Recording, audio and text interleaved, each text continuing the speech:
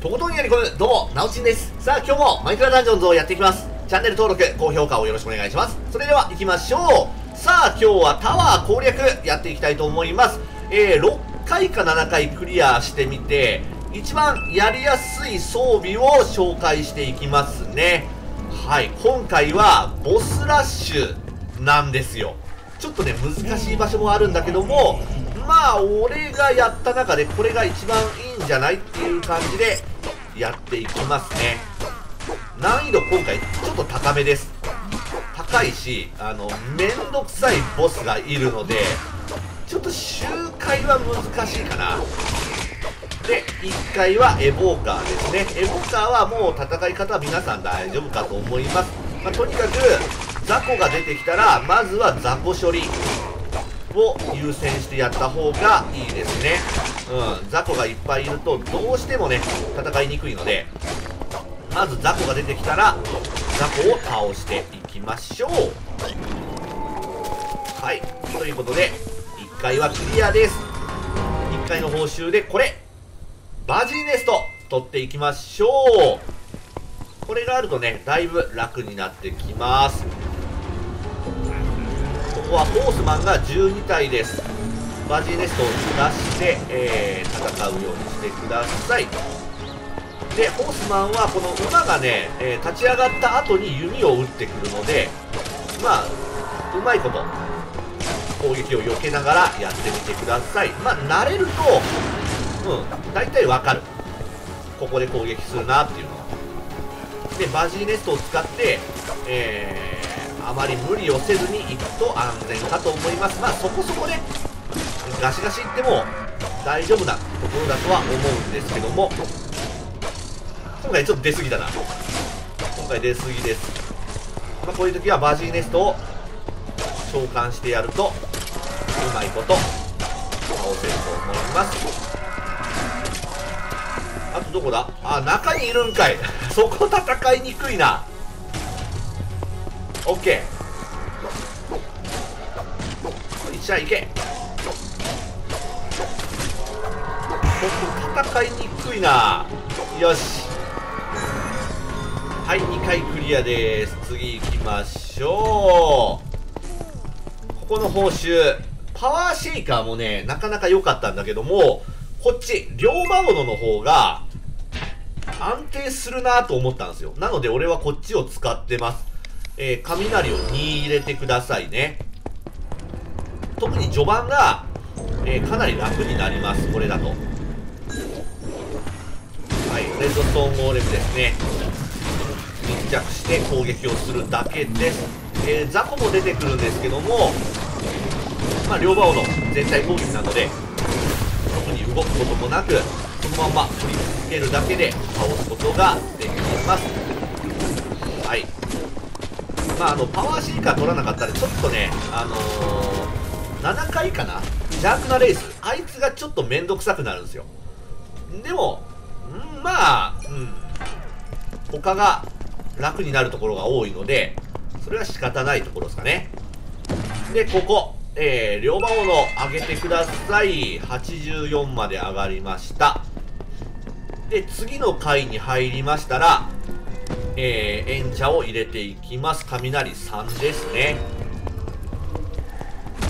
で、ここも、まあ余裕かなと思います。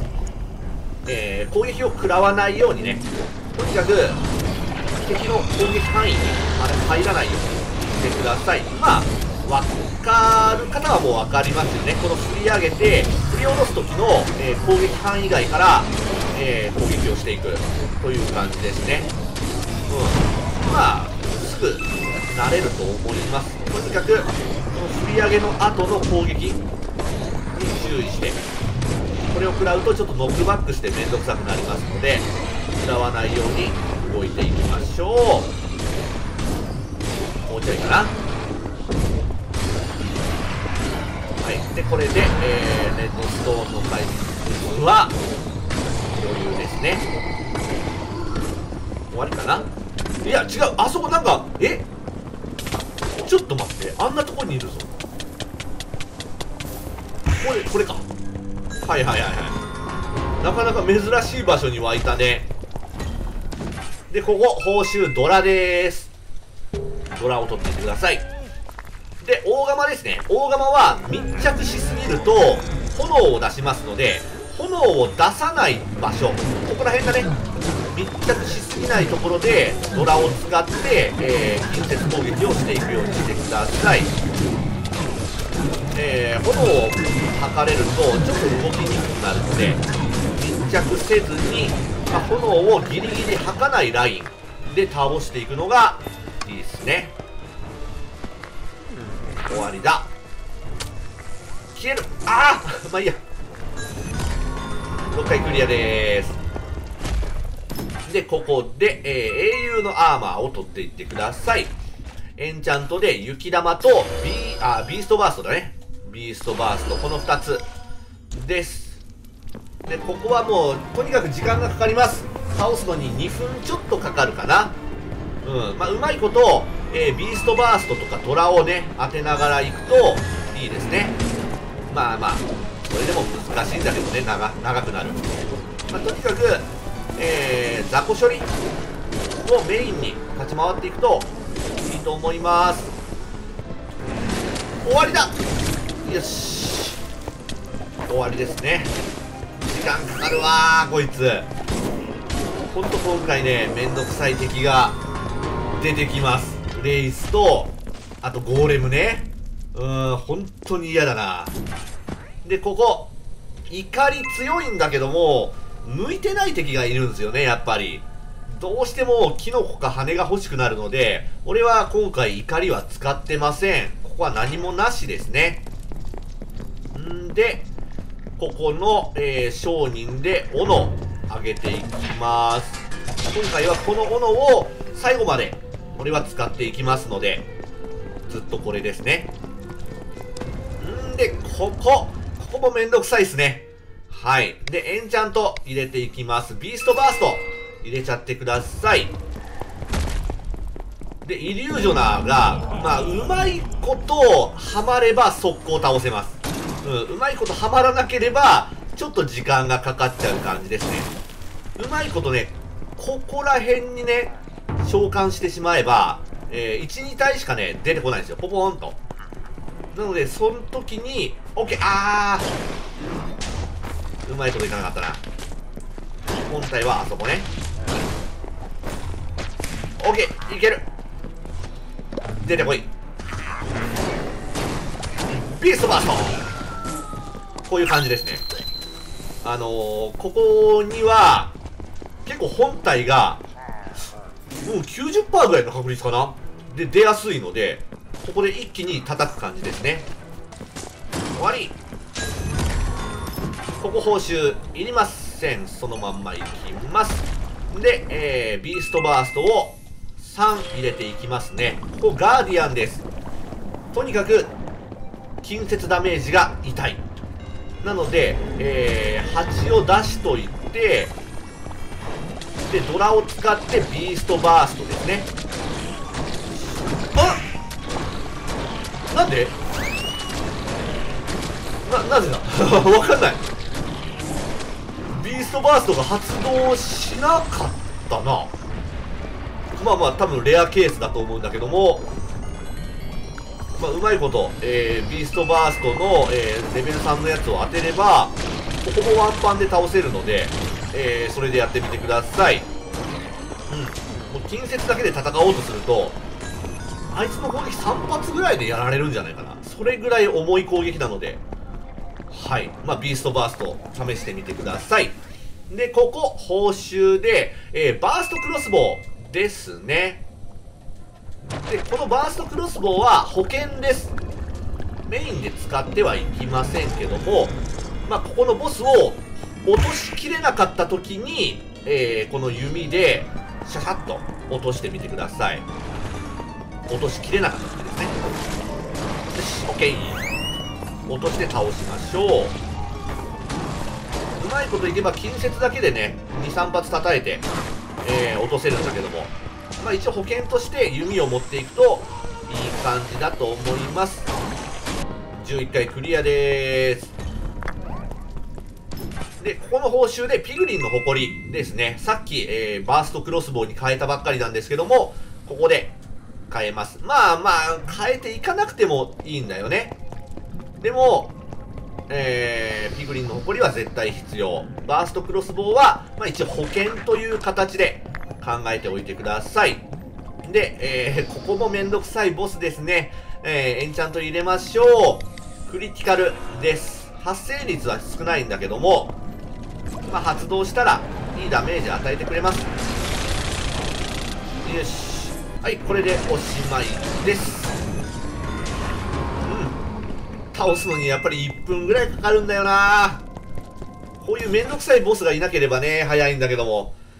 えー、ここ報酬いりません。そのまんま進んでください。でここもまあうまいことえー、一旦で行くこともありますけども、時間かかることの方が多いかな。ゲストバースト !OK、いけたうまいこと決まらんかったらね、倒せはしないんだけども、今回はうまいこと決まりました。まあ、蜂がね、3体出るまで、ちょっと待つっていうのがコツなのかなうん、早めにすると2発のダメージなので、ちょっと少ないんだよね。えー、報酬何もいりません。そのまま行ってください。んで、えー、っと、クリティカルですね。そしてパワー入れてください。ちょっとでもダメージを上げていきましょう。はい、えー、これジャングルのね、あの、ゴリさんですね。倒すのに同じく時間がかかります。まあ、やられないように、えー、ぼちぼちちょっと待って俺動けないおお危ね挟まってた 挟まってた挟まらないようにしましょう、まあ、なかなかないことと思うんだけど OK でこいつを振り下ろすえー、範囲がかなり広いので立ち回り注意していきましょうねよしおしまいですいやー こいつもちょっとめんどくさいんだよね次行きましょう。えー、ここ登山装備。装備していきます。もともとクールダウンがついててお得ですね。で、えー、エンチャントではポーションバリア、そして防護ですね。ちょっとでも耐久力を上げていきましょう。で、金細工勝利。ここは呪いの斧です。パワー99まで上がりました。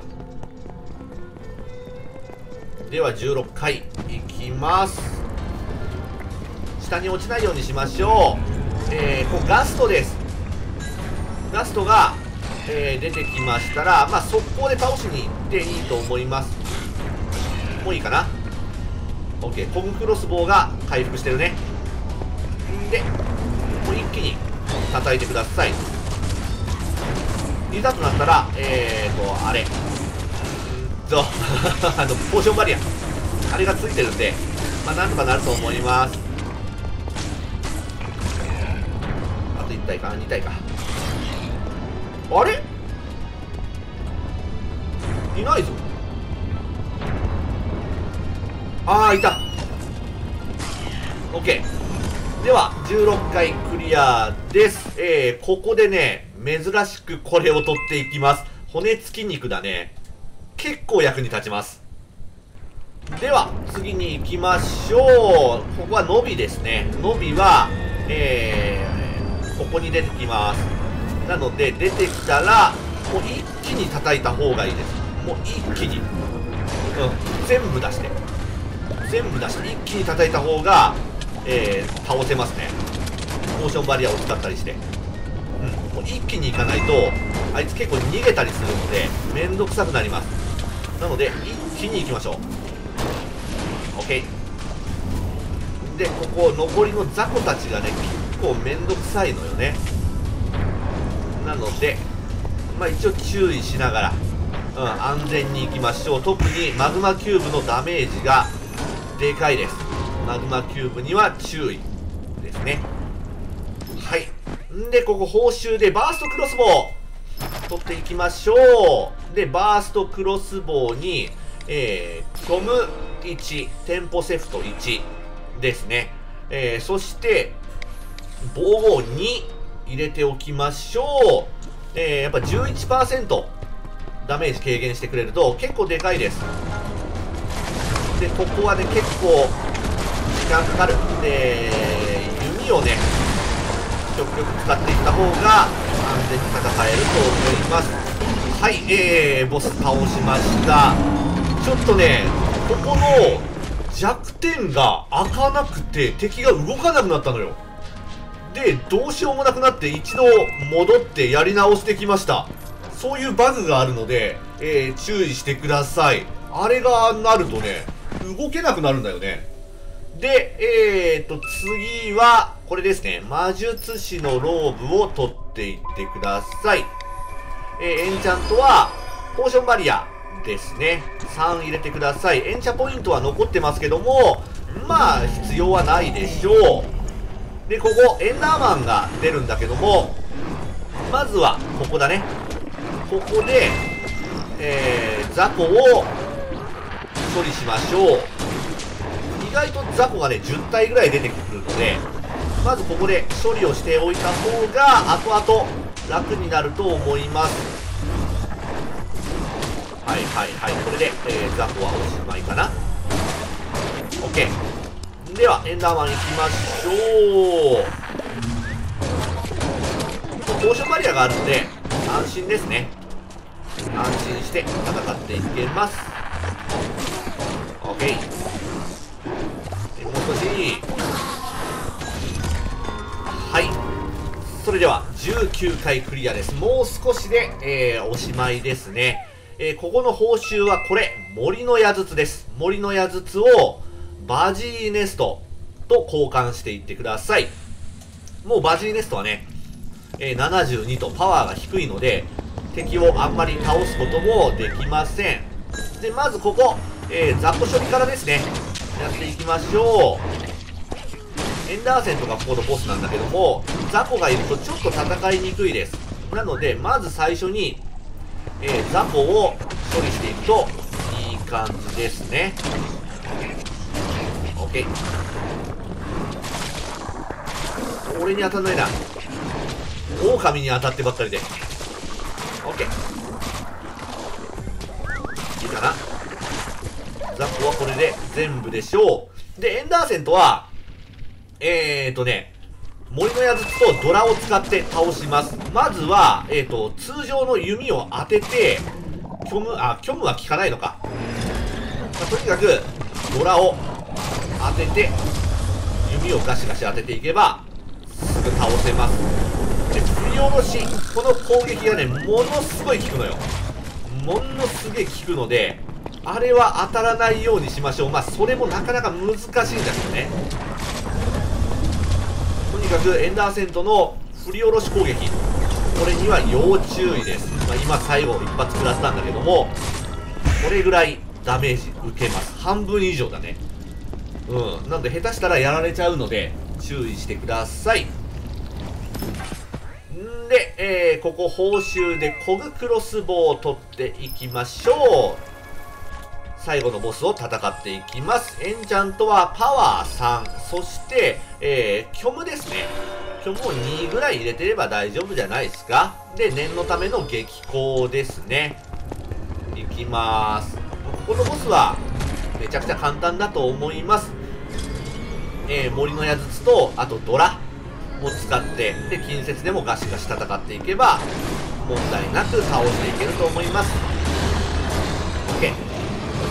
で、今回99本、えー、矢が余ってますけども、まあまあ、結構矢を余らせて、ここまで来れると思います。で、わざと、えー、HP を減らして、攻撃速度を上げて戦っていくっていう方法も、まあ、ありかとは思うんだけども、ちょっとリスキーなので、うん、まあ、普通に戦っていった方がいいのかな。